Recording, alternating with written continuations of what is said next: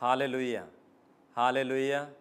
ಪ್ರೀತಿಯ ಸಹೋದರ ಸಹೋದರಿಯರೇ, ಒಂದು ನಿಮಿಷ ದೇವರ ಸನ್ನಿಧಿಯಲ್ಲಿ ನಮ್ಮನ್ನು ಸಂಪೂರ್ಣವಾಗಿ ಒಪ್ಪಿಸಿಕೊಡೋಣ. ಕಣ್ಣುಗಳನ್ನು ಮುಚ್ಚಿ ದೇವರ ಸನ್ನಿಧಿಯಲ್ಲಿ ಒಂದು ನಿಮಿಷ ನಾವು ಪ್ರಾರ್ಥಿಸೋಣ.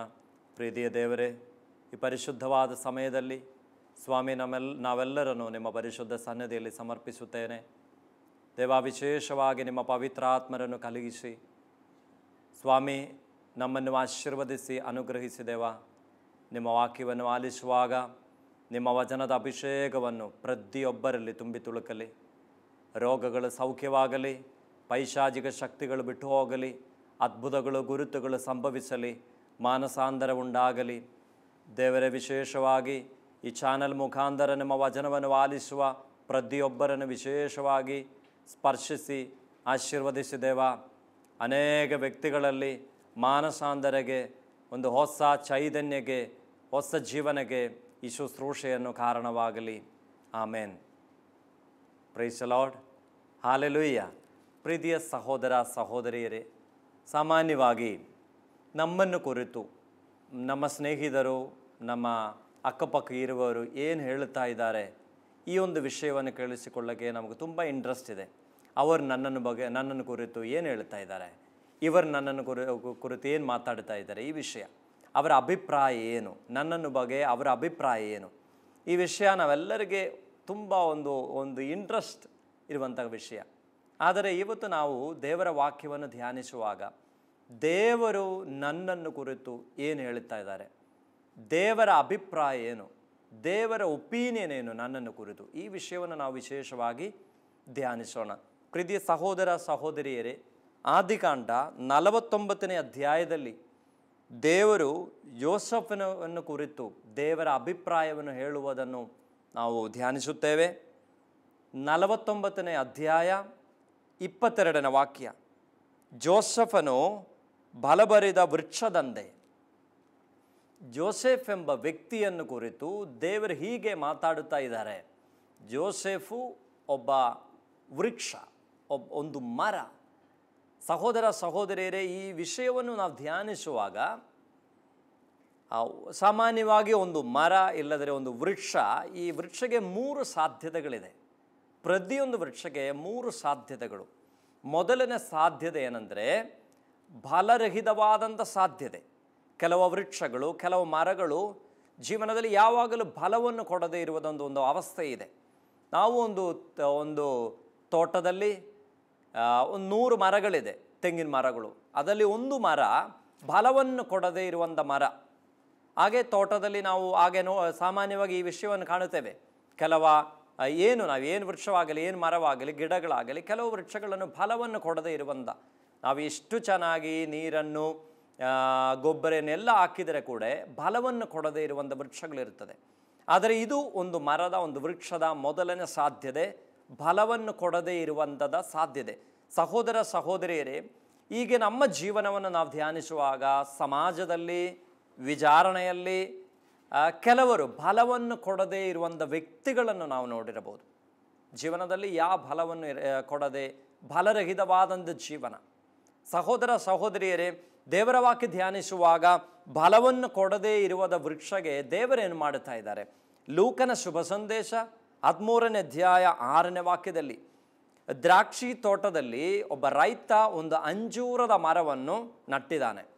ಸಾಮಾನ್ಯವಾಗಿ ದ್ರಾಕ್ಷಿ ತೋಟದಲ್ಲಿ ಯಾರು ಅಂಜೂರದ ಮರವನ್ನು ನಡುವುದು? ಇಲ್ಲ. ಆದರೆ ಈ ವ್ಯಕ್ತಿ ಈ ದ್ರಾಕ್ಷಿ ತೋಟದಲ್ಲಿ ಅಂಜೂರದ ಮರವನ್ನು ನಟ್ಟಿದ್ದಾನೆ. ಅಂಜೂರದ ಮರವನ್ನು ನಟ್ಟು ಸಾಮಾನ್ಯವಾಗಿ ಅಂಜೂರದ ಮರ ಫಲವನ್ನು ಕೊಡೋದಕ್ಕೆ ಮೂರು ವರ್ಷ ಬೇಕು. ಈ ವ್ಯಕ್ತಿ ಸುಮಾರು ಮೂರು ವರ್ಷ ಈ ಗಿಡೆಯನ್ನು ನಟ್ಟು ಮೂರು ವರ್ಷ ನಂತರ ಪ್ರತಿಯೊಂದು ವರ್ಷ ಫಲವನ್ನು ಕಾಯುತ್ತಾ ಇರ್ತಾನೆ ಆದರೆ ಏನು ಫಲವನ್ನು ಈ ವೃಕ್ಷದಿಂದ ಈ ರೈತ ಇಲ್ಲದ್ರೆ ತೋಟಗಾರಿಗೆ ಸಿಗ್ತಾ ಇಲ್ಲ.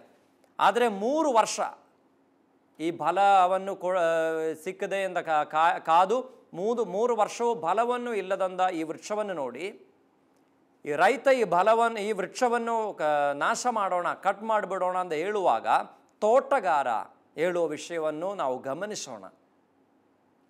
ಒಂದು ಮತ್ತು ಇನ್ನೊಂದು ವರ್ಷವನ್ನು ನಾವು ಕೊಡೋಣ. ಸುತ್ತ ಪಾತಿ ಮಾಡಿ, ನೀರು ಹಾಕಿ, ಗೊಬ್ಬರ ಹಾಕಿ ಇನ್ನೊಂದು ವರ್ಷವನ್ನು ಕಾಯೋಣ. ಸಹೋದರ ಸಹೋದರಿ ಬಲವನ್ನು ಕೊಡದೇ ಇರುವಂಥ ವೃಕ್ಷ, ಈ ವೃಕ್ಷಗೆ ದೇವರು ಮತ್ತೊಂದು ವರ್ಷ. ಇಲ್ಲದರೆ ಮತ್ತೆ ಸುತ್ತ ಪಾತಿ ಮಾಡಿ, ನೀರನ್ನು ಹಾಕಿ, ಗೊಬ್ಬರನೇ ಹಾಕೋ ವಿಷಯವನ್ನು ನಾವು ಧ್ಯಾನಿಸುವಾಗ ನಮ್ಮ ಜೀವನವನ್ನು ಕುರಿತು ನಾವು ವಿಶೇಷವಾಗಿ ಧ್ಯಾನಿಸಬೇಕು. ನಾವು ಸಮಾಜದಲ್ಲಿ ಕೆಲವರು ಪ್ರಾರ್ಥನೆ ಇಲ್ಲದವರು, ದೇವಾಲಯಕ್ಕೆ ಹೋದೆ, ಹೋಗದೇ ಇರುವವರು, ಅವರ ಜೀವನದಲ್ಲಿ ಎಲ್ಲವನ್ನು ಹೆಚ್ಚಾಗಿ ದೇವರು ಕೊಡುವುದನ್ನು ಕಾಣುವಾಗ ನಮಗೆ ಮನಸ್ಸಲ್ಲಿ ತುಂಬ ನೋವಾಗುತ್ತದೆ. ಕೆಲವರು ಹೀಗೆ ಯೋಚನೆ ಮಾಡುತ್ತಾರೆ, ನಾನು ಪ್ರತಿದಿನ ಪ್ರಾರ್ಥನೆ ಮಾಡುವವನು, ಪ್ರತಿ ಭಾನುವಾರ ದೇವಾಲಯದಲ್ಲಿ ಬಲಿಪೂಜೆಯಲ್ಲಿ ಪಾಲ್ಗೊಳ್ಳುವವನು, ನಮಗೆ ದೇವರ ಮಗನಾಗಿ ಜೀವಿಸುವನು ಆದರೆ ನನ್ನ ಜೀವನದಲ್ಲಿ ಯಾವಾಗಲೂ ಸಮಸ್ಯೆಗಳೇ, ನನ್ನ ಜೀವನದಲ್ಲಿ ಯಾವಾಗಲೂ ಕಷ್ಟಗಳೇ, ಆದರೆ ನನ್ನ ಪಕ್ಕ ಮನೆಯಲ್ಲಿ ಇರುವವನು ಪ್ರಾರ್ಥನೆ ಇಲ್ಲ ಮದ್ಯಬಾನಿ ಧೂಮಬಾನಿ ಎಲ್ಲ ಕೆಟ್ಟಗಳ ಕೆಲಸಗಳನ್ನು ಅವನು ಮಾಡುತ್ತಾನೆ. ಆದರೆ ಅವನ ಜೀವನದಲ್ಲಿ ಯಾವುದಕ್ಕೊಂದು ಕೊರತೆ ಇಲ್ಲ. ಎಲ್ಲ ದೇವರು ಸಮೃದ್ಧಿಯಾಗಿ ಅವನ ಕೊಡುತ್ತಾ ಇದ್ದಾನೆ. ಸಹೋದರ, ಸಹೋದರಿಯರೇ, ಹೀಗೆ ದೇವರು ಸಮೃದ್ಧಿಯಾಗಿ ಎಲ್ಲವನ್ನು ಕೊಡುವವರು ಅವರ ಜೀವನವನ್ನು ಕುರಿತು ಧ್ಯಾನಿಸಬೇಕು. ನೋಡಿ, ದೇವರು ನನಗೆಲ್ಲ ಸಮೃದ್ಧವಾಗಿ ಕೊಡುತ್ತಾ ಇದ್ದಾರೆ. ನಾನು ಅಷ್ಟು ಒಳ್ಳೆಯವನಲ್ಲ ಆದರೆ ಕೂಡ ದೇವರು ನನಗೆ ಎಲ್ಲ ಸಮೃದ್ಧವಾಗಿ ಕೊಡುತ್ತಾ ಇದ್ದಾನೆ. ಈ ಒಂದು ವಿಷಯವನ್ನು ಧ್ಯಾನಿಸುವಾಗ ಸಹೋದರ, ಸಹೋದರಿ, ಒಂದು ವಿಷಯವನ್ನು ಅರ್ಥ ಮಾಡಿಕೊಳ್ಳಿ. ದೇವರ ವಾಕ್ಯವನ್ನು ವಾಕ್ಯದ ಆಧಾರವಾಗಿ ನಮ್ಮ ಜೀವನವನ್ನು ಧ್ಯಾನಿಸುವಾಗ ಬಲವನ್ನು ಕೊಡದೇ ಇರುವಂಥ ವೃಕ್ಷಗಳಿಗೆ ದೇವರು ಮತ್ತೆ ಸುತ್ತ ಪಾತಿ ಮಾಡಿ ಗೊಬ್ಬರ ಹಾಕಿ ನೀರನ್ನು ಹಾಕ್ತಾರೆ. ಹಾಗೆ ದೇವರು ನಮಗೆ ಮತ್ತೊಂದು ವರ್ಷವನ್ನು ಕೊಡುತ್ತಾ ಇದ್ದಾರೆ. ಒಂದು ಒಳ್ಳೆ ಕಾರು ಕೊಟ್ಟು ನೋಡೋಣ, ಇವನ್ ನನ್ನ ಕಡೆಗೆ, ದೇವರ ಕಡೆಗೆ ವಾಪಸ್ ಬತ್ತಿ, ಹಿಂದಿರಿಗೆ ಬರುತ್ತಾನಾ ಅಂತ ಇಲ್ಲದ್ರೆ ಒಂದು ಒಳ್ಳೆ ಮನೆ, ಒಂದು ಒಳ್ಳೆ ಜೀವನ, ಒಳ್ಳೆ ಕೆಲಸ, ಸಹೋದರ ಸಹೋದರಿ, ನೀವು ಒಳ್ಳವನಾದ ಕಾರಣದಿಂದ ಅಲ್ಲ, ನೀವು ಬಲವನ್ನು ಕೊಡದೇ ಇರುವ ವ್ಯಕ್ತಿಯಾದ ಕಾರಣದಿಂದ ದೇವರು ನಿನಗೆ ಈ ಆಶೀರ್ವಾದಗಳು, ಅನುಗ್ರಹಗಳು ಕೊಟ್ಟಿರಬಹುದು. ಆದರೆ ನಾವು ಅಕ್ಕಪಕ್ಕ ಇರುವವರು, ಅವರು ತುಂಬ ಒಳ್ಳೆಯವರು, ಪ್ರಾರ್ಥನೆಯಲ್ಲಿ ಇರುವವರು ದೇವರ ವಿಶ್ವಾಸದಲ್ಲಿ ಜೀವಿಸುವರು ನಿರಂತರವಾಗಿ ಬಲಪೂಜೆಯಲ್ಲಿ ಪಾಲ್ಗೊಳ್ಳುವವರು, ಅವರ ಜೀವನದಲ್ಲಿ ಯಾಕೆ ಈ ಕಷ್ಟಗಳು ಒಂದು ಯೋಜಿಸುವಾಗ ಅದಕ್ಕೆ ಉತ್ತರವನ್ನು ದೇವರ ವಾಕ್ಯ ನಮಗೆ ಕೊಡುತ್ತಾ ಇದೆ. ಹಾಗೆ ನಾವು ಒಂದು ವೃಕ್ಷದ, ಒಂದು ಮರದ ಮೊದಲನೇ ಸಾಧ್ಯತೆ, ಬಲವನ್ನು ಕೊಡದೆ ಇರುವಂತಹ ಸಾಧ್ಯತೆ. ಎರಡನೇ ಸಾಧ್ಯತೆಯನ್ನು ಕುರಿತು ನಾವು ಧ್ಯಾನಿಸುವಾಗ ಕೆಟ್ಟ ಫಲಗಳನ್ನು ಕೊಡುವ ಸಾಧ್ಯತೆ, ಒಂದು ಮರದ ಎರಡನೇ ಸಾಧ್ಯತೆ ಪಾಸಿಬಿಲಿಟಿ ಏನೆಂದರೆ ಕೆಟ್ಟ ಫಲವನ್ನು ಕೊಡುವ ಸಾಧ್ಯತೆ. ಸಾಮಾನ್ಯವಾಗಿ ರೈತ, ತೋಟಗಾರ ಒಂದು ಮರವನ್ನು, ಒಂದು ಗಿಡೆಯನ್ನು ನಡುವಾಗ ಈ ಮರದಿಂದ, ಈ ಗಿಡದಿಂದ ಒಳ್ಳೆ ಫಲವನ್ನು ದೇವರು ಈ- ಮರವನ್ನು ಕೊಡುತ್ತದೆ ಎಂಬ ವಿಷಯವನ್ನು ಗಮನಿಸಿ ಇಲ್ಲದರ ಮನಸ್ಸಲ್ಲಿ ಇಟ್ಟು ಈ ಈ ಮರವನ್ನು, ವೃಕ್ಷವನ್ನು ನಟ್ಟಿ, ನಟ್ಟಿರಬಹುದು. ಆದರೆ ಸಹೋದರ, ಸಹೋದರಿಯರೇ, ಕೆಲವು ಮರಗಳು, ಕೆಲವು ವೃಕ್ಷಗಳು ಕೆಟ್ಟ ಫಲವನ್ನು ಕೊಡುವ ವೃಕ್ಷಗಳಾಗಿದ್ದೆ. ನೋಡಿ ಒಂದು ತೋಟದಲ್ಲಿ ಕೆಲವು ತೆಂಗಿನಕಾಯ ನೋಡಗೆ ಚೆನ್ನಾಗಿರುತ್ತದೆ, ಆದರೆ ನಾವು ಒಳಗಡೆ ನೋಡುವಾಗ, ತೆಗೆದು ಒಳಗಡೆ ನೋಡುವಾಗ ಏನೂ ಇರಲ್ಲ. ಆ ಥರ ಮರಗಳು, ಹಲಸಿನ ಹಣ್ಣು, ಹೊರಗಡೆ ನೋಡಕ್ಕೆ ಚೆನ್ನಾಗಿರುತ್ತದೆ, ಆದರೆ ಅದನ್ನು ತೆಗೆಯುವಾಗ ಒಳಗಡೆ ಏನೂ ಇರಲ್ಲ. ಈ ಥರ ಕೆಟ್ಟ ಬಲವನ್ನು ಕೊಡುವ ಮರ, ಎರಡನೇ ಸಾಧ್ಯತೆ ಇದು.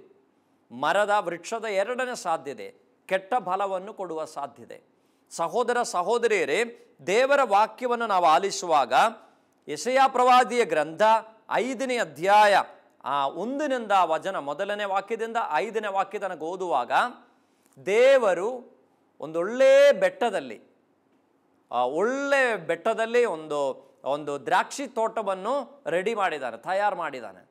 ಒಳ್ಳೆ ಗಿಡಗಳನ್ನು ತಂದು ಆ ತೋಟದಲ್ಲಿ ನಟ್ಟಿದ್ದಾನೆ. ಸುತ್ತ ದೇವರು ಬೇಲಿಯನ್ನು, ತಂದಿಯನ್ನು ಎಲ್ಲ ಹಾಕಿ ಗೋಡೆ ನಿರ್ಮಾಣ ಮಾಡಿ ಎಲ್ಲವನ್ನು ದೇವರು ರೆಡಿ ಮಾಡುವಾಗ ದೇವರ ಚಿಂತೆಯಲ್ಲಿ ಇಲ್ಲದರೆ ಆ ತೋಟಗಾರನ ಮನಸ್ಸಲ್ಲಿ ಈ ದ್ರಾಕ್ಷಿ ತೋಟದಿಂದ ಒಳ್ಳೆ ಸಿಹಿಯಾದಂಥ ಹಣ್ಣನ್ನು ಸಿಗ್ತದೆ ಎಂದ ಯೋಜನೆಯಿಂದ ಈ ತೋಟಗಾರ ಈ ತೋಟವನ್ನು ರೆಡಿ ಮಾಡಿದ್ದಾನೆ. ಆದರೆ ಈ ಎಸೆಯ ಪ್ರವಾದಿಯ ಗ್ರಂಥ ಐದನೇ ಅಧ್ಯಾಯ ಮೊದಲನೇ ವಾಕ್ಯದಿಂದ ಐದನೇ ವಾಕ್ಯದನ್ನಕ್ಕೆ ನಾವು ಓದುವಾಗ ನಮಗೆ ಒಂದು ವಿಷಯ ಗೊತ್ತಾಗುತ್ತದೆ.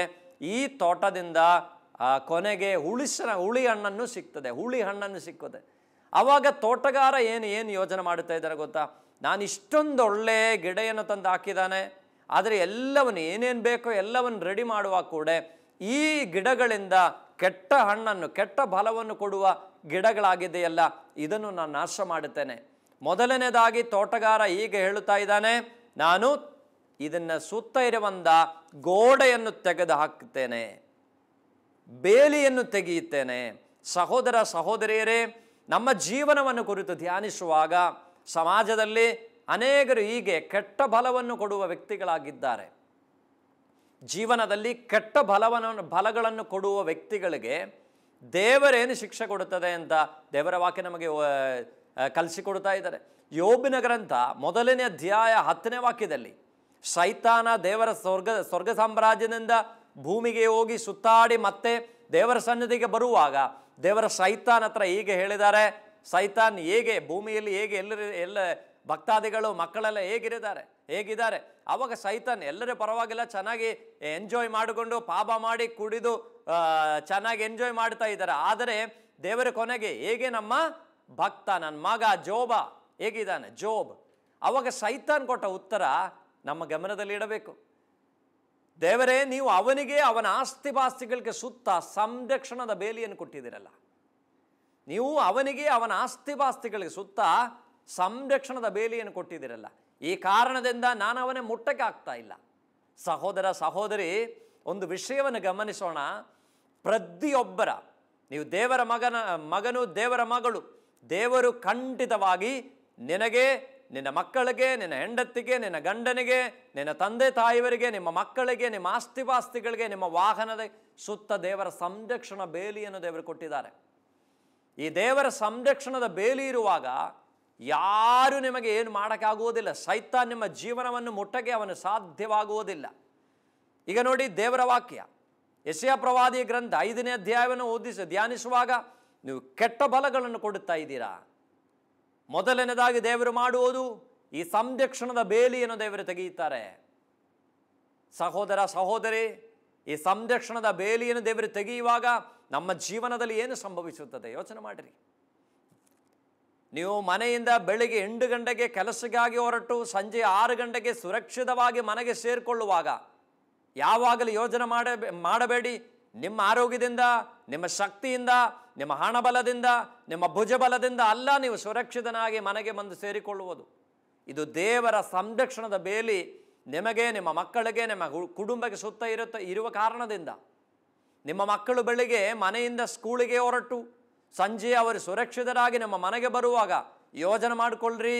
ದೇವರ ಸಂರಕ್ಷಣಾ ಬೇಲಿ ನಿಮ್ಮ ಮಕ್ಕಳ ಸುತ್ತ ಇದೆ. ಈ ಕಾರಣದಿಂದ ಸುರಕ್ಷಿತರಾಗಿ ಅವರು ನಿಮ್ಮ ಮನೆಗೆ ಸೇರಿಕೊಳ್ಳಿದ್ದಾರೆ. ಸಹೋದರ ಸಹೋದರಿ, ನೀವು ಕೆಟ್ಟ ಬಲವನ್ನು ಕೊಡುವವನಾಗಿರುವಾಗ ದೇವರ ಮೊದಲನೇದಾಗಿ ನಿಮಗೆ, ನಿಮ್ಮ ಆಸ್ತಿ ಬಾಸ್ತಿಗಳಿಗೆ ನಿಮ್ಮ ಕುಟುಂಬಕ್ಕೆ ಸುತ್ತ ಇರುವಂಥ ದೇವರ ಸಂರಕ್ಷಣದ ಬೇಲಿಯನ್ನು ದೇವರು ತೆಗೆಯುತ್ತಾರೆ.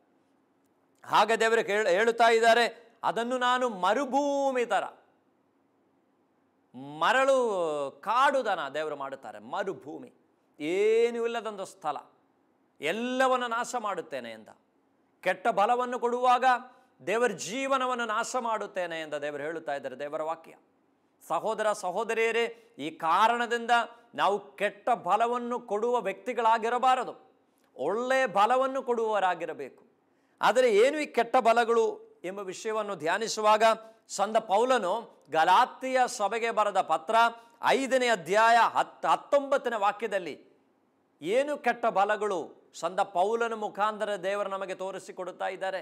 ಮದ್ಯಪಾನ, ಧೂಮಪಾನ, ಪರದೂಷಣೆ, ಸ್ವಾರ್ಥ ಇದೆಲ್ಲವನ್ನು ಕೆಟ್ಟ ಬಲಗಳು. ಜೀವನದಲ್ಲಿ ಈ ಒಂದು ಕೆಟ್ಟ ಅಭ್ಯಾಸಗಳಿಗೆ ಗುಲಾಮರಾಗಿ ಜೀವನ ಮಾಡುತ್ತಾ ಇದ್ದೀರಾ? ನೀವು ಕೆಟ್ಟ ಫಲಗಳನ್ನು ಕೊಡುವ ಮರಗಳಾಗಿದ್ದೀರಿ, ಕೆಟ್ಟ ಫಲಗಳನ್ನು ಕೊಡುವ ವ್ಯಕ್ತಿಗಳಾಗಿದ್ದೀರಿ. ಕೆಟ್ಟ ಫಲಗಳನ್ನು ಕೊಡುವ ವ್ಯಕ್ತಿಗಳಿಗೆ ದೇವರು ಮಾಡುವ ವಿಷಯವನ್ನು ನೆನಪಿಟ್ಟುಕೊಳ್ಳ್ರಿ. ದೇವರು ಮಾಡೋ ಕಾರ್ಯವನ್ನು ನೆನಪಿಟ್ಟುಕೊಳ್ಳ್ರಿ. ನಿಮಗೆ ನಿಮ್ಮ ಕುಟುಂಬಕ್ಕೆ ಸುತ್ತ ದೇವರ ಸಂರಕ್ಷಣದ ಬೇಲಿಯನ್ನು ದೇವರು ತೆಗೆಯುತ್ತಾರೆ. ಆವಾಗ ಸೈತ ನಿಮ್ಮನ್ನು ಅಟ್ಯಾಕ್ ಮಾಡಿ ನಿಮ್ಮ ಜೀವನವನ್ನು ನಾಶ ಮಾಡುತ್ತಾನೆ. ಸಹೋದರ ಸಹೋದರಿಯರೇ, ಈ ದೇವರ ಸಂರಕ್ಷಣಾ ಬೇಲಿ ನಮಗೆ ನಮ್ಮ ಕುಟುಂಬ, ನಮ್ಮ ಮಕ್ಕಳಿಗೆ, ನಮ್ಮ ತಂದೆ ತಾಯಿಯವರಿಗೆ ಬೇಕು ಅಂದರೆ ನೀವು ಒಳ್ಳೆ ಫಲವನ್ನು ಕೊಡುವ ವ್ಯಕ್ತಿಯಾಗಿ ಜೀವಿಸಬೇಕು. ಆದರೆ ಒಳ್ಳೆ ಫಲಗಳೇನು ಈ ವಿಷಯಗಳು ಸಂದ ಪೌಲನ ಮುಖಾಂತರ ದೇವರು ನಮಗೆ ಹೇಳಿಕೊಡುತ್ತಾ ಇದ್ದಾರೆ. ಯಾವುದು ಒಳ್ಳೆ ಫಲಗಳು ದೇವರು ನನ್ನಿಂದ ಆಶಿಸುವಂತಹ ಒಳ್ಳೆ ಫಲಗಳು ಯಾವುದು? ಸಂದ ಪೌಲನು ಗಲಾತಿಯ ಸಭೆಗೆ ಬರೆದ ಪತ್ರ, ಐದನೇ ಅಧ್ಯಾಯ ಇಪ್ಪತ್ತೆರಡನಿಂದ ವಾಕ್ಯಗಳು. ಪ್ರೀತಿ, ಸಮಾಧಾನ ಸಂಯಮ, ನಂಬಿಕೆ, ಕರುಣೆ, ದಯೆ, ಇದೆಲ್ಲ ಒಳ್ಳೆ ಫಲಗಳು. ಕುಟುಂಬದಲ್ಲಿ ಪ್ರೀತಿಯಲ್ಲಿ ಬಾಳಬೇಕು. ಗಂಡ ಹೆಂಡತೀರ ಮಧ್ಯದಲ್ಲಿ, ತಂದೆ ತಾಯಿರ ಮಕ್ಕಳ ಮಧ್ಯದಲ್ಲಿ, ಸಹೋದರರ ಮಧ್ಯದಲ್ಲಿ ಈ ಪ್ರೀತಿ ಇರುವಾಗ ನೀವು ಒಳ್ಳೆ ಬಲವನ್ನು ಕೊಡುವ ವ್ಯಕ್ತಿಯಾಗಿದ್ದೀರಿ. ಹಾಗೆಯೇ ನಮ್ಮ ಸಮಾಜದಲ್ಲಿ ಪ್ರೀತಿಯನ್ನು ತೋರಿಸುವ ವ್ಯಕ್ತಿಯಾಗಿ. ದೇವರ ಸಹೋದರ, ಸಹೋದರಿಯರೇ, ದೇವರ ನಿನ್ನನ್ನು ದೇವರ ಮಗನಾಗಿ ದೇವರ ಮಗಳಾಗಿ ಕರೆದಿದ್ದಾರೆ, ಆರಿಸಿದ್ದಾರೆ, ಅಭಿಷೇಕ ಮಾಡಿದ್ದಾರೆ. ನೀವು ಸಾಮಾನ್ಯವಾದ ವ್ಯಕ್ತಿ ಅಲ್ಲ. ಸಾಮಾನ್ಯವಾದ ವ್ಯಕ್ತಿಯಲ್ಲ ನೀನು. ನಿಮ್ಮನ್ನು ದೇವರು ವಿಶೇಷವಾಗಿ ಆರಿಸಿದ್ದಾರೆ, ಅಭಿಷೇಕ ಮಾಡಿದ್ದಾರೆ. ಎರಮಿಯ ಪ್ರವಾದಿಯ ಗ್ರಂಥ, ಮೊದಲನೇ ಅಧ್ಯಾಯ ಐದನೇ ವಾಕ್ಯದಲ್ಲಿ, ತಾಯಿಯ ಉದರದಲ್ಲಿ ನೀವು ಜನಿಸುವುದ ಹುಟ್ಟುವ ಮುಂಚೆ ದೇವರು ನಿಮ್ಮನ್ನು ಪವಿತ್ರೀಕರಿಸಿದ್ದಾರೆ. ನೀವು ಸಾಮಾನ್ಯವಾದ ವ್ಯಕ್ತಿ ಅಲ್ಲ. ಸಹೋದರ, ಸಹೋದರಿ ಒಂದು ಮರದ, ಒಂದು ವೃಕ್ಷದ ಮೊದಲನೇ ಸಾಧ್ಯತೆ, ಫಲರಹಿತವಾದ ಸಾಧ್ಯತೆ, ಫಲವನ್ನು ಕೊಡದೇ ಇರುವಂಥ ಸಾಧ್ಯತೆ. ಎರಡನೇ ಸಾಧ್ಯತೆ ಪಾಸಿಬಿಲಿಟಿ ಸೆಕೆಂಡ್ ಪಾಸಿಬಿಲಿಟಿ ಕೆಟ್ಟ ಫಲವನ್ನು ಕೊಡುವಂಥ ಸಾಧ್ಯತೆ. ಸಹೋದರ, ಸಹೋದರಿ, ಈ ಕೆಟ್ಟ ಫಲವನ್ನು ಕೊಡುವ ಸಾಧ್ಯತೆ, ಇದನ್ನು ಧ್ಯಾನಿಸುವಾಗ ಯಾವುದು ಕೆಟ್ಟ ಫಲಗಳು? ದೇವರು ತೋರಿಸಿಕೊಟ್ಟಿದ್ದಾರೆ ಆಲ್ರೆಡಿ ನಮಗೆ. ಯಾವುದು ಒಳ್ಳೆ ಫಲಗಳು? ದೇವರು ತೋರಿಸಿಕೊಟ್ಟಿದ್ದಾರೆ ಸಂದ ಪೌಲನ ಮುಖಾಂತರ. ಮೂರನೇ ಸಾಧ್ಯತೆ ಒಂದು ಮರದ ಮೂರನೇ ಸಾಧ್ಯತೆ. ನಾನು ಹೇಳಿದ್ದೀನಿ ಒಂದು ಮರಗೆ ಮೂರು ಸಾಧ್ಯತೆಗಳಿದೆ. ಮೂರನೇ ಸಾಧ್ಯತೆ ಏನೆಂದರೆ ಯವಾನ ಶುಭ ಸಂದೇಶ ಹದಿನೈದನೇ ಅಧ್ಯಾಯ ಎರಡನೇ ವಾಕ್ಯದಲ್ಲಿ ನಾವು ನೋಡುತ್ತೇವೆ. ಬಲವನ್ನು ಕೊಡುವ ಬಳ್ಳಿಗಳನ್ನು ಕತ್ತರಿಸುತ್ತಾರೆ. ತೋಟಗಾರ. ಬಲವನ್ನು ಕೊಡುವ ಬಳ್ಳಿಗಳನ್ನು ಕತ್ತರಿಸುತ್ತಾರೆ. ಕತ್ತರಿಸುವಾಗ ನಮಗೆ ಗೊತ್ತು, ನೋವು. ಕತ್ತರಿಸುವಾಗ ರಕ್ತ ಬರುತ್ತದೆ, ನೋವಿದೆ. ಯಾಕೆಂದರೆ ನೀವು ನಿಮ್ಮ ಜೀವನದಲ್ಲಿ ದೇವರು ನಿಮ್ಮನ್ನು ಕತ್ತರಿಸುತ್ತಾ ಇದ್ದಾರಾ? ಖಂಡಿತವಾಗಿ ನೀವು ಒಳ್ಳೆ ಬಲವನ್ನು ಕೊಡುವರು. ಸಹೋದರ, ಸಹೋದರಿ, ಜೀವನದಲ್ಲಿ ಎಷ್ಟೋ ಸಾಲ ನೀವು ಈ ಪ್ರಶ್ನವನ್ನು ಕೇಳಿರಬಹುದು. ನಾನು ನಿಜವಾಗಿ ಪ್ರಾರ್ಥನೆ ಮಾಡುವರು, ದೇವರಲ್ಲಿ ಭಕ್ತಿಯುಳ್ಳವನು, ದೇವರಲ್ಲಿ ವಿಶ್ವಾಸವುಳ್ಳವರು, ಚಿಕ್ಕ ವಯಸ್ಸಿನಿಂದ ಬಲಿಪೂಜೆ ತಪ್ಪದೇ ಬಲಿಪೂಜೆಯಲ್ಲಿ ಪಾಲ್ಗೊಳ್ಳುವವನು ಆದರೆ ದೇವರೇ, ಯಾಕೆ ನನಗೆ ಈ ಸಮಸ್ಯೆಗಳು? ಸಮಸ್ಯೆಗಳಿಂದ ನನಗೆ ಬಿಡುಗಡೆನೇ ಇಲ್ಲಲ್ವಾ? ನನ್ನ ಅಕ್ಕಪಕ್ಕ ಇರುವವರು ನೋಡ್ರಿ, ಅವರು ಚರ್ಚೆ ಇಲ್ಲ, ಪ್ರಾರ್ಥನೆ ಇಲ್ಲ, ಕೆಟ್ಟ ಜೀವನ ಮಾಡುವವರು. ಆದರೆ ಅವರ ಜೀವನದಲ್ಲಿ ಎಲ್ಲ ಐಶ್ವರ್ಯವನ್ನು ಸಮೃದ್ಧವಾಗಿ ನೀವು ಕೊಟ್ಟಿದ್ದೀರಲ್ಲ. ಯಾಕೆ ನಾನು ನಂಬಬೇಕು? ಯಾಕೆ ನಾನು ಪ್ರಾರ್ಥಿಸಬೇಕು? ಎಷ್ಟೋ ಜನ ಈ ಪ್ರಶ್ನೆಯನ್ನು ಕೇಳ್ತಾ ಇದ್ದಾರೆ. ಸಹೋದರ, ಸಹೋದರಿ, ಇವತ್ತು ದೇವರು ತನ್ನ ವಾಕ್ಯದ ಮುಖಾಂತರ ನಮಗೆ ಉತ್ತರವನ್ನು ಕೊಡ್ತಾ ಇದ್ದಾರೆ. ನೀವು ದೇ, ಬಲ, ಒಳ್ಳೆ ಬಲವನ್ನು ಕೊಡುವ ವ್ಯಕ್ತಿ ಆಗಿರುವ ಕಾರಣದಿಂದ ದೇವರು ನಿಮ್ಮನ್ನು ಮತ್ತೆ ಸವಿಯುತ್ತಾರೆ, ಕಟ್, ಕತ್ತರಿಸುತ್ತಾರೆ. ಯಾಕಂದ್ರೆ ನೀವು ಹೆಚ್ಚಾಗಿ ಹೆಚ್ಚಾಗಿ ಒಳ್ಳೆ ಬಲವನ್ನು ಕೊಡಬೇಕಂತ. ನಿಮ್ಮ ರೋಗಗಳು, ನಿಮ್ಮ ಕಷ್ಟಗಳು, ನಿಮ್ಮ ಸಾಲಗಳು, ನಿಮ್ಮ ಆರ್ಥಿಕ ಸಮಸ್ಯೆಗಳು, ನಿಮ್ಮ ಕುಟುಂಬದಲ್ಲಿ ಇರುವ ಸಮಸ್ಯೆಗಳು, ಇದೆಲ್ಲ ದೇವರು ನಿಮಗೆ ಕೊಡುವಂತ, ದೇವರು ನಿಮ್ಮನ್ನು ಕತ್ತರಿಸುವುದು. ಯಾಕೆಂದರೆ ನೀವು ಒಳ್ಳೆ ಬಲಗಳನ್ನು ಕೊಡುವ ವ್ಯಕ್ತಿಗಳು, ನೀವು ಸಂದರ ಆಗಬೇಕು ಅಂದ ಅನೇಕ ಸಂದರನ್ನು ಧರ್ಮಸಭೆಯಲ್ಲಿ ನಾವು ನೋಡುತ್ತಾ ಇದ್ದಾರೆ. ಸಂದರಗಳ ಜೀವನದಲ್ಲಿ ಸಹನೆಯ ಕಷ್ಟ, ರೋಗ ಸಫರಿಂಗ್ಸ್ ರೋಗಗಳು, ಇದೆಲ್ಲ ದೇವರವರಿಗೆ ಯಾಕೆ ಕೊಟ್ಟಿದ್ದಾರಂತೆ? ಅವರು ಇನ್ನೂ ಹೆಚ್ಚಾಗಿ ಪರಿಶುದ್ಧರಾಗಬೇಕು, ಅವರು ಸಂತರಾಗಬೇಕು ಅಂತ ಸಹೋದರ, ಸಹೋದರಿ, ನಿನ್ನನ್ನು ಕುರಿತು ದೇವರಿಗೆ ಒಂದು ಪ್ಲಾನ್ ಇದೆ. ನೀವು ಸಂದನಾಗಬೇಕು ನೀವು ಸ, ನೀವು ಪರಿಶುದ್ಧಲಾಗಬೇಕು ನೀವು ದೇವರ ಮಗಳಾಗಬೇಕು, ದೇವರ ಮಗನಾಗಬೇಕು ಅಂತ ಈ ಕಾರಣದಿಂದಲೇ ದೇವರು ನಿಮಗೆ ಈ ಕಷ್ಟ ಈ ಸಹನಗಳು, ಈ ರೋಗಗಳು ಕೊಡುತ್ತಾ ಇದ್ದಾರೆ. ಸಹೋದರ, ಸಹೋದರಿ, ಇನ್ನು ಯಾವಾಗಲೂ ಎಲ್ಲೂ ಹೋಗಿ ಈ ಪ್ರಶ್ನೆ ಮತ್ತೆ ಕೇಳಬಾರದು. ಯಾಕೆಂದರೆ, ಯಾಕೆ ಯಾಕೆ ನನಗೆ ಈ ಸಮಸ್ಯೆ? ಯಾಕೆ ದೇವರು ನನ್ನ ಪ್ರಾರ್ಥನೆಗೆ ಉತ್ತರ ಕೊಡುತ್ತಾ ಇಲ್ಲ? ನಾನು ಪ್ರಾರ್ಥನೆ ಮಾಡುವವನು, ದ, ವಿಶ್ವಾಸವುಳ್ಳವನು. ಸಹೋದರ, ದೇವರು ನಿಮಗೆ ಉತ್ತರ ಕೊಡುತ್ತಾ ಇದ್ದಾರೆ. ನೀವು ಬಲವನ್ನು ಕೊಡುವ ವ್ಯಕ್ತಿ ಆದ, ಆಗ ಕಾರಣದಿಂದ ನಿಮ್ಮನ್ನು ದೇವರು ಕರ್ತಿ, ಕತ್ತರಿಸುತ್ತಾ ಇದ್ದಾರೆ. ಹೆಚ್ಚಾಗಿ ನೀವು ಬಲವನ್ನು ಕೊಡಬೇಕು ಅಂದ. ಈಗ ನೋಡಿ ನಾವು ಮೂರು ವಿಷಯಗಳನ್ನು ಧ್ಯಾನಿಸಿದ್ದೇವೆ. ಒಂದು ಮರದ ಮೂರು ಮೂರು ಸಾಧ್ಯತೆಗಳು. ಮೊದಲನೇ ಸಾಧ್ಯತೆ. ಒಂದು ಮರದ ಮೊದಲನೇ ಸಾಧ್ಯತೆ, ಬಲವನ್ನು ಕೊಡದೇ ಇರುವಂಥ ಸಾಧ್ಯತೆ. ಬಲವನ್ನು ಕೊಡದೇ ಇರುವಂಥ ವೃಕ್ಷವನ್ನು, ಮರವನ್ನು, ವ್ಯಕ್ತಿಗಳನ್ನು ದೇವರು ಮತ್ತೆ ಆಶೀರ್ವಾದವನ್ನು ಕೊಡುತ್ತಾರೆ. ಅವರಿಗೆ ದೇವರು ಒಳ್ಳೆ ಕೆಲಸ ಕೊಡುತ್ತಾರೆ. ಕೆಟ್ಟ ಜೀವನ ಮಾಡುವವರಿಗೆ ದೇವರು ಒಳ್ಳೆ ಚೆನ್ನಾಗಿ ಜೀವಿಸಿರಿ. ಕೊನೆಗೆ ನೋಡೋಣ ಅಂತ. ನೀವು ಮ, ಇಂದಿರಿಗೆ ಬರುತ್ತಾರಾ? ಹಿಂದಿರಿಗೆ ಬರ್ತೀರಾ ದೇವರು ನಿಮಗಾಗಿ ಕಾಯುತ್ತಾ ಇದ್ದಾರೆ. ಸಹೋದರ, ಸಹೋದರಿ, ಧ್ಯಾನ ಮಾಡಿಕೊಳ್ಳ್ರಿ. ನೀವು ಕೆಟ್ಟ ಜೀವನ ಮಾಡುತ್ತಾ ಇದ್ದೀರಾ? ಕೆಟ್ಟ ಜೀವನ ಮಾಡುತ್ತಾ ಇದ್ದೀರಾ? ಬಲವನ್ನು ಕೊಡದೆ ಜೀವನ ಮಾಡುತ್ತಾ ಇದ್ದೀರಾ? ದೇವರ ನಮಗೆ ಈ ಒಂದು ವರ್ಷವನ್ನು ಕೊಟ್ಟಿದ್ದಾರೆ. ಈ ವರ್ಷವನ್ನು ದೇವರು ಕೊಟ್ಟು, ದೇವರ ಅನೇಕ ಆಶೀರ್ವಾದಗಳು, ಒಳ್ಳೆ ಕಾರನ್ನು ಕೊಟ್ಟು, ಒಳ್ಳೆ ಕೆಲಸಗಳನ್ನು ಕೊಟ್ಟು, ಮನೆಯನ್ನು ಕೊಟ್ಟು, ಅಭಿಷೇಕವನ್ನು ಕೊಟ್ಟು, ಆರೋಗ್ಯವನ್ನು ಕೊಟ್ಟು, ಮಕ್ಕಳನ್ನು, ತಂದೆ, ತಾಯಿಯನ್ನು, ಗಂಡನ್ನು, ಹೆಂಡತಿಯನ್ನೆಲ್ಲ ದೇವನ ಸಮೃದ್ಧವಾಗಿ, ಎಲ್ಲವನ್ನು ಒಳ್ಳೆಯವನ್ನು ಕೊಟ್ಟಿದ್ದಾರೆ. ಯಾಕೆಂದರೆ ನೀವು ಎಲ್ಲವನ್ನು ದೇವರ ಸಮೃದ್ಧಿಯಾಗಿ ಕೊಟ್ಟಿರುವಾಗ ನೀವು ದೇವರ ಸನ್ನಿಧಿಗೆ ವಾಪಸ್ ಬರುತ್ತೀರಾ? ನೀವು ಮಾನಸಾಂದ್ರ ಹೊಂದಿರ ದೇವರು ನಿಮಗಾಗಿ ಕಾಯುತ್ತಾ ಇದ್ದಾರೆ? ಇಲ್ಲದರೆ ಎರಡನೇ ಒಂದು ಮರದ ಎರಡನೇ ಸಾಧ್ಯತೆಯನ್ನು ನಾವು ಧ್ಯಾನಿಸಿರಬಹುದು, ಧ್ಯ- ಧ್ಯಾನಿಸಿದ್ದೀರಲ್ಲ? ಒಂದು ಮರದ ಎರಡನೇ ಸಾಧ್ಯತೆ ಏನದು? ಕೆಟ್ಟ ಬಲವನ್ನು ಕೊಡುವ ಸಾಧ್ಯತೆ. ಕೆಲವು ಮರಗಳು ಕೆಟ್ಟ ಬಲವನ್ನು ಕೊಡುವ ಮರಗಳಾಗಿದೆ ಕೆಟ್ಟ ಮ, ಬಲವನ್ನು ಕೊಡುವ ಮರಗಳಿಗೆ ದೇವರು ಕೊಡುವ ಶಿಕ್ಷೆ ನೆನಪಿಟ್ಟುಕೊಳ್ಳ್ರಿ ಸಂರಕ್ಷಣದ ಬೇಲಿಯನ್ನು ದೇವರು ತೆಗೀತಾರೆ ಮರುಭೂಮಿ ದರ ಮಾಡಿಬಿಡ್ತಾರೆ ಮರುಭೂಮಿ ದರ ಏನೂ ಇರಲಿ ನಾಶವಾದಂಥ ಪರಿಸ್ಥಿತಿ. ಸಹೋದರ ಸಹೋದರಿ, ಕೆಟ್ಟ ಬಲವನ್ನು ಕೊಡುವ, ಮದ್ಯಪಾನಕ್ಕೆ, ಧೂಮಪಾನಕ್ಕೆ, ಕೆಟ್ಟ ಅಭ್ಯಾಸಗಳ ಜಗಳೆಯಲ್ಲಿ, ಪರದೂಷಣೆಯಲ್ಲಿ ಎಲ್ಲವನ್ನು ಜೀವನ ನಾಶ ಮಾಡುತ್ತಾ ಇದ್ದೀರಾ? ಪಾಪಗೆ ಬಿದ್ದು ಹೋಗಿ ಜೀವನ ನಾಶವಾದ ಪರಿಸ್ಥಿತಿಯಲ್ಲಿ ಇದ್ದೀರಾ? ಸಹೋದರ ಸಹೋದರಿ ನೀವು. ದೇವರ ಕಡೆಗೆ, ದೇವರ ಸನ್ನಿಗೆ ಹಿಂದಿರುಗಿ ಬರಬೇಕು. ಈ ಕೆಟ್ಟ ಜೀವನದಲ್ಲಿ ಕೆಟ್ಟ ಬಲವನ್ನು ಕೊಡುವರಾಗಿರುವಾಗ ದೇವರ ಸಂರಕ್ಷಣವನ್ನು ನಮಗೆ ಅಸಾಧ್ಯವಾಗುತ್ತದೆ. ಸಾಧ್ಯವಾಗುವುದಿಲ್ಲ. ಮೂರನೇ ಸಾಧ್ಯತೆ ಒಳ್ಳೆಯ ಫಲವನ್ನು ಕೊಡುವ, ಚೆನ್ನಾಗಿ ವಿಶ್ವಾಸದಲ್ಲಿ ಜೀವಿಸುವ, ಪ್ರಾರ್ಥನೆಯಲ್ಲಿ ಜೀವಿಸುವ ದೇವರ ಸನ್ನಿಧಿಯಲ್ಲಿ ವಿಶ್ವಾಸದಲ್ಲಿ ಎಲ್ಲರನ್ನು ಪ್ರೀತಿಸಿ ಸಮಾಧಾನದಲ್ಲಿ ನೆಮ್ಮದಿಯಲ್ಲಿ ಜೀವಿಸುವರಾಗಿದ್ದೀರಾ ನೀನು ಖಂಡಿತವಾಗಿ ನಿಮಗೆ ಸಮಸ್ಯೆಗಳು ಇರುತ್ತದೆ. ನಿಮ್ಮ ಜೀವನದಲ್ಲಿ ಕಷ್ಟಗಳಿರುತ್ತದೆ, ಆರ್ಥಿಕ ಸಮಸ್ಯೆಗಳಿರುತ್ತದೆ, ರೋಗ ಇರುತ್ತದೆ. ಆದರೆ ಭಯಪಡಬೇಡಿ, ದೇವರು ನಿಮ್ಮ ಜೊತೆಯಲ್ಲಿದ್ದಾರೆ. ಬೈಬಲ್ ಗ್ರಂಥದಲ್ಲಿ ಮುನ್ನೂರ ಅರವತ್ತಾರು ಸಾಲ ದೇವರ ವಾಕ್ಯ. ಭಯಪಡಬೇಡಿ don't be afraid I am with you ಭಯಪಡಬೇಡಿ, ನಾನು ನಿನ್ನ ಜೊತೆಯಲ್ಲಿದ್ದೇನೆ. ನಮ್ಮ ಜೊತೆಯಲ್ಲಿ ಇದ್ದು ನಮ್ಮನ್ನು ಬಲವನ್ನು ಕೊಟ್ಟು ಮುನ್ನಡೆಸುವ ದೇವರಾಗಿದ್ದಾರೆ ನಮ್ಮ ದೇವರು. ಸಹೋದರ, ಈ ಪರಿಶುದ್ಧವಾದ ಸಮಯದಲ್ಲಿ ದೇವರ ತನ್ನ ವಾಕ್ಯದ ಮುಖಾಂತರ ಅನೇಕ ವಿಷಯಗಳು ನಮ್ಮ ಹತ್ರ ಮಾತಾಡಿದ್ದಾರೆ. ಈ ವಿಷಯಗಳನ್ನು ಧ್ಯಾನಿಸುವಾಗ ನಮ್ಮಲ್ಲಿ ಬದಲಾವಣೆ. ಎಷ್ಟು ವರ್ಷದಿಂದ ದೇವರ ಮಗನಾಗಿ, ಮಗಳಾಗಿ ಜ್ಞಾನದೀಕ್ಷೆಯನ್ನು ಪಡೆದು ದೇವರ ಮಗನಾಗಿ ಜೀವನ ಮಾಡುತ್ತಾ ಇದ್ದೀರಿ? ಎಷ್ಟೋ ವರ್ಷಗಳಿಂದ ಬಲಿಪೂಜೆಯಲ್ಲಿ ಪಾಲ್ಗೊಳ್ತಾ ಇದ್ದೀರಾ? ಸಹೋದರ, ಸಹೋದರಿ, ಈ ಒಂದು ಮಾನಸ ಅಂದರೆ, ಈ ಒಂದು ಬದಲಾವಣೆ ನಮ್ಮಲ್ಲಿ ಬೇಕು. ಇದಕ್ಕಾಗಿ ಪ್ರಾರ್ಥನೆ ಮಾಡಬೇಕು. ಸ್ವಾಮಿ, ನಾನು ಒಳ್ಳೆಯ ಫಲವನ್ನು ಕೊಡುವ ವ್ಯಕ್ತಿಯಾಗಿ ಜೀವಿಸಬೇಕು. ನನ್ನ ಜೀವನದಲ್ಲಿ ಕಷ್ಟಗಳು, ಸಮಸ್ಯೆಗಳು ಬಂದರೆ ಪರವಾಗಿಲ್ಲ, ಆದರೆ ದೇವಾ, ನೀವು ನನ್ನ ಜೊತೆಯಲ್ಲಿ ಇರಬೇಕು. ನನ್ನ ಕುಟುಂಬದಲ್ಲಿ ನಿಮ್ಮ ಸಾನ್ನಿಧ್ಯವನ್ನು ನನಗೆ ದಯಪಾಲಿಸಬೇಕು. ನಾನು ಪ್ರಯಾಣ ಮಾಡುವಾಗ, ನಾನು ಕೆಲಸ ಮಾಡುವಾಗ, ನಾನು ನಿದ್ರಿಸುವಾಗ ದೇವಾ, ನಿಮ್ಮ ಸಂರಕ್ಷಣೆಯನ್ನು ಈ ಯೋಬನಿಗೆ ನಿಮ್ಮ ಸಂ, ಯೋಬನಿಗೆ ನೀವು ನಿಮ್ಮ ಸಂರಕ್ಷಣೆ ಹೇಗೆ ಕೊಟ್ಟಿದ್ದಾರ ಕೊಟ್ಟಿದ್ದೀರಾ? ಹಾಗೇ ನಿಮ್ಮ ಸಂರಕ್ಷಣೆ ನನಗೆ ದಯಪಾಲಿಸಿ. ಸಹೋದರ, ಸಹೋದರಿಯರೇ, ಒಂದು ನಿಮಿಷ ನಮ್ಮ ಕಣ್ಣುಗಳನ್ನು ಮುಚ್ಚೋಣ. ಪ್ರಾರ್ಥಿಸೋಣ. ಈ ಶಾಲೋಮ್ ಟಿ ವಿ ಮುಖಾಂತರ ದೇವರ ವಾಕ್ಯವನ್ನು ಆಲಿಸುವ ಸಹೋದರ, ಸಹೋದರಿ, ಈ ಪರಿಶುದ್ಧವಾದ ಸಮಯದಲ್ಲಿ ದೇವರು ನಿನ್ನ ಜೀವನದಲ್ಲಿ ಅದ್ಭುತಗಳು ಮಾಡುವ ಸಮಯ. ಕಣ್ಣೀರಿಟ್ಟು ಪ್ರಾರ್ಥಿಸುವ ವ್ಯಕ್ತಿಯಾಗಿರ್ಬೋದು.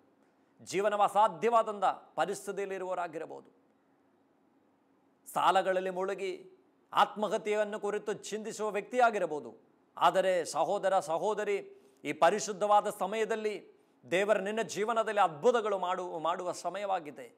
ವಿಶ್ವಾಸದಿಂದ, ನಂಬಿಕೆಯಿಂದ ನನ್ನ ಜೀವನವನ್ನು ದೇವರ ಪರಿಶುದ್ಧ ಸನ್ನಿಧಿಯಲ್ಲಿ ಒಪ್ಪಿಸಿಕೊಟ್ರು ಸ್ವಾಮಿ ಯೇಸುವೆ, ಈ ಮಕ್ಕಳನ್ನು ವಿಶೇಷವಾಗಿ ನಿಮ್ಮ ಪರಿಶುದ್ಧ ಸನ್ನಿಧಿಯಲ್ಲಿ ಸಮರ್ಪಿಸಿ ಪ್ರಾರ್ಥಿಸುತ್ತೇನೆ.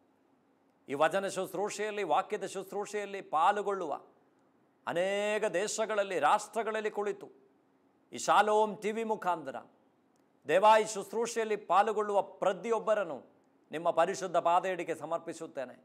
ರೋಗಿಗಳು, ಅನೇಕ ರೋಗಿಗಳು, ಕಷ್ಟದಲ್ಲಿ ಇರುವವರು, ಆರ್ಥಿಕ ಸಮಸ್ಯೆಗಳಲ್ಲಿ ಬಿದ್ದವರು, ಜೀವನವ ಅಸಾಧ್ಯವಾದವರು, ಸ್ವಾಮಿ ಮದ್ಯಪಾನಕ್ಕೆ, ಧೂಮಪಾನಕ್ಕೆ ಗುಮ, ಗುಲಾಮರಾದವರು, ಕುಟುಂಬದಲ್ಲಿ ಸಮಾಧಾನ ಇಲ್ಲದ ವ್ಯಕ್ತಿಗಳು ಮಕ್ಕಳಿಲ್ಲದವರು ವಿವಾಹದ ಅಡದಡ ಅಡದಡಗಳಲ್ಲಿ ಇರುವವರು ಸ್ವಾಮಿ, ಪ್ರತಿಯೊಬ್ಬರನ್ನು ಸಮರ್ಪಿಸುವಾಗ ಅಯೋಗ್ಯನಾದ ಪಾಪಿಯಾದ ನನಗೆ ಕೊಟ್ಟಿರುವಂತಹ ಯಾಜಕದ ಅಧಿಕಾರ ಉಪಯೋಗಿಸಿ ಈ ಮಕ್ಕಳ ಶರೀರದಲ್ಲಿ, ಜೀವನದಲ್ಲಿ, ಕುಟುಂಬದಲ್ಲಿ ಕೆಲಸ ಮಾಡುತ್ತಿರುವಂತಹ ಪೈಶಾಚಿಕ ಶಕ್ತಿಗಳನ್ನು, ಅಂಧಕಾರದ ಬಂಧನಗಳನ್ನು ಮಾಟಮಂತ್ರದ ಶಕ್ತಿಗಳನ್ನು ಯಾಜಕದ ಅಧಿಕಾರ ಉಪಯೋಗಿಸಿ ಬಂಧಿಸಿ ಪ್ರಾರ್ಥಿಸುತ್ತೇನೆ. ಸಂಪೂರ್ಣ ಬಿಡುಗಡೆಯನ್ನು ದಯಪಾಲಿಸಿರಿ. ತಾಯಿ ಮರಿಯಳೇ, ನಮಗಾಗಿ ಮಧ್ಯಸ್ಥವನ್ನು ಪ್ರಾರ್ಥಿಸಿರಿ. ಆಮೇನ್.